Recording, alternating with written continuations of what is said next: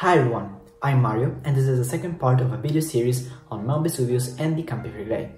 In this video, I will be focusing on the Phlegraean Fields, or as they call it in Italian, the Campi Flegrei. They're a huge volcanic field, now active for about 18,000 years, without any main structure. Instead, there are several eruptive vents scattered inside a large caldera.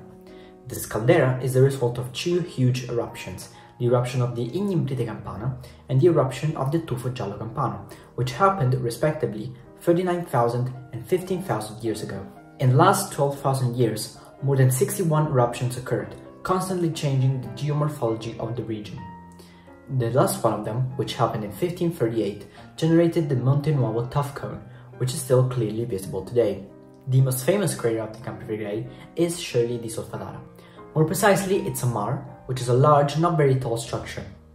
Its last eruption was in the 12th century. However, a lot of secondary volcanic activities linked to the crater are still occurring today. Their most notable manifestations are the Fangaia and the fumaroles.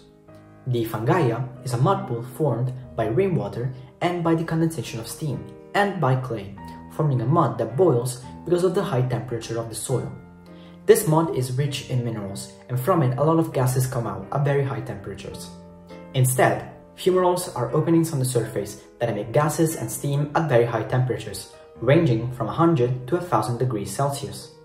The steam comes from the heating of water, while other gases come from the magma underground. Many different gases come out of the fumaroles. However, something to note is that some of these gases can be toxic for human health, especially if inhaled for a long period of time. Some examples are arsenic trisulfide, mercury, and sulfur dioxide, which is responsible for the classic smell of rotten eggs.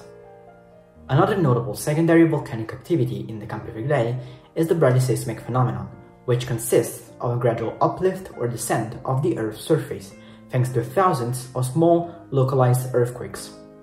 Bradyseism doesn't only occur in the Campi Flegrei, but this region is one of the most studied for this phenomenon. In particular, many studies take into consideration an old Roman construction, the Serapeum, which is located near the dock of Pozzuoli, a town encircled in the Campi Flegrei's caldera. The structure is now above sea level. However, on the erect columns at various heights, traces of boreholes left by marine mollusks have been found, indicating that the construction has gone below sea level and then resurfaced at a later time.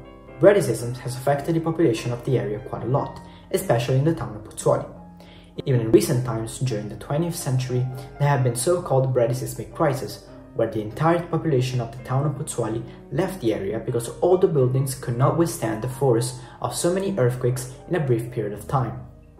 Naturally, times have changed, and since the late 20th century, the area is being constantly monitored by local authorities, and it's possible to calculate the variation of the surface height in real time. Starting from 2005, there has been a period of constant uplift at an increasing rate, culminating in various earthquake swarms hitting the area.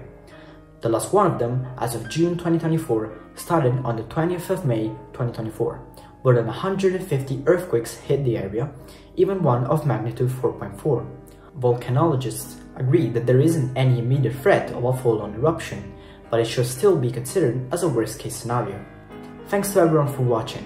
Please like, share and subscribe, and also write any questions in the comments or other topics you'd like to see a report on.